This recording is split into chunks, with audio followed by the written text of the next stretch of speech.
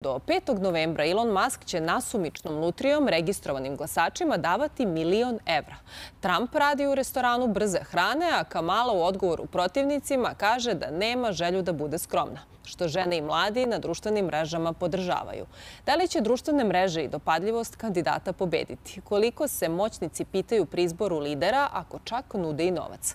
Pametne kampanje ili na granici zakonitosti? Moj današnji gost je profesor dr. Miloš Laban, geopolitički analitičar. Dobar dan i dobrodošli. Dobar dan i hvala vam na pozivu malo zvuči neverovatno i na granici senzacionalizma, spektakla i svega toga kada pogledamo ovu kampanju. I sad se pitamo šta je sledeće? Pa pre nego što to kažem, čestitam vašoj televiziji na ovom prelepom prilogu o bebama i mamama, jer to je redko danas da možemo u ovim vremenima gledamo nešto što štiri pozitivnu energiju i optimizam. Hvala e, vam. E sad, da se vratimo na surovu realnost. Dakle, e, Ja ću se potruditi da ovo osvetlim i iz drugog ugla, jer naravno američka predizborna kampanja je karakteristična. To je tipično američki da kandidat sad radi u nekom restoranu brze hrane, onda se daje nekom lutrijom novac i postiču ljudi da izađu da glasaju. Dakle, to je sasvim normalno. Možda za evropske pojmove nije, ali za američku e, e, kampanju je to nešto što je očekivano. E sad, ovdje ima specifičnost to što je Trump e, gostuje u McDonald'su. E sad, da bi razumeli to, manje je poznato na našim prostorima. McDonald's se pojavio tamo negde krajem 80. godina, kod nas i u Budimpešti je bio isto. I to je bilo elitno mesto za izlazak. Znači, govorim tamo kraj 80. godina prošlog veka. Sticajem okolnosti, ja sam u 88. malo duže boravio u Americi na nekom naučnom savršavanju. Po navici, kad sam došao, ja sam otišao da vidim u McDonald'su da brzu hranu. Međutim, vrlo me iznenadio da je tamo nivo e, bio za McDonald's daleko niži nego kod nas. Dakle, ovdje je McDonald's bio izlog, a tamo nije. I tu sam zapazio da uglavnom posetioci McDonald'sa su e, afroamerikanci, i latinoamerikanci. E, pa iz tog ugla sada komentarišem ovo. Ja sam inače kasnije išao ovaj, uglavnom u Kentucky Chicken. Tu su išli, da kažem, neki moji ovaj, prijatelji. E, zašto je to gospodin Trump odabrao? Pa zato što on tim gestom pokušava da jedan deo biračkog tela koji mu po pravilu nije baš naklonjen, privuče da kroz to i skroman nastup pokaže da nije nikakav beli rasista kako ga protivnici optužuju, nego naprotiv. On se zalaže za neke principijalne stvari koje treba da idu u korist Sjedinim državama. Jer to što on, ako pogledate objektivno, to što on predlaže, znači sređivanje migranskih tokova, sređivanje uopšte ovaj, e, američke privrede u smislu toga da Amerika treba postane ponovo velika, a ne da e, širom sveta finansira vojne baze koje nisu potrebne. Dakle, podsjećam da Trump nijedan rat nije počeo, to je prvi američki predsjednik u novije doba koji nije počeo nijedan rat. Naprotiv, neke stvari je završavao i pokušavao da to sve stavi u neke normalne tokove. U to je spadala i činjenica, može Amerika da zadržava vojne baze, ali samo one koje njoj kao državi trebaju. Ono što treba privatnim kompanijama, izvolite pa plaćajte privatnu vojsku, neće to sjedne države da finansiraju.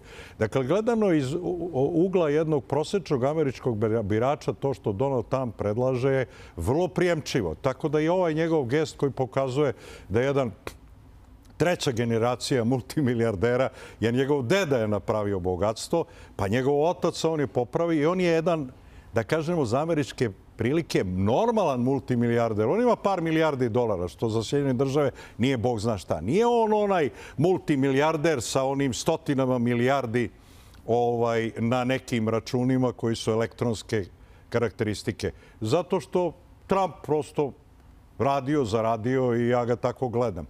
On pokušava da vrati materijalnu proizvodnju Sjedinje države, što je svakako iz ugla Sjedinje države mhm. isto i ljudi koji tu žive i rade, pogotovo srednje klase koju on zastupa, bili oni beli ili obojeni, sigurno je to njegovo biračko telo. Što se tiče samog Ilona Maska, jeste, Elon Musk spada u one velike mega multimilijardere, ali on je iz dubine duše i otvoreno podržao Donalda Trumpa. I on to i ovim svojim gestom e, da donira glasače pokazuje također i na tom, u tom maniru.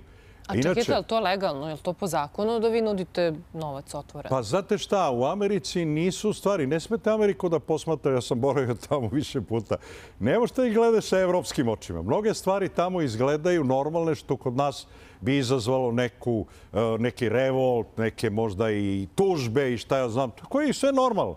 Znači oni imaju zakon koji su još 1938. doneli o takozvanim stranim agentima.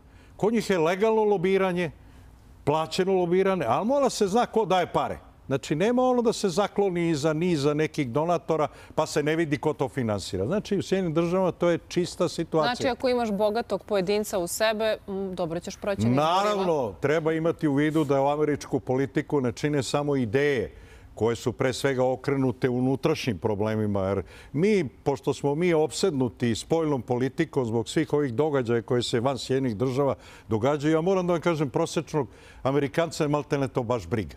E, međutim, to će imati jedan detalj, jer e, ono zapažanje, ja ne bih vola se to desi, ali s obzirom da je Donald Trump favorit Izraela i uopšte jevrejske te dijaspore, zbog toga što je njegov zet Kušner oženjen Ivankom glavni izraelski lobista.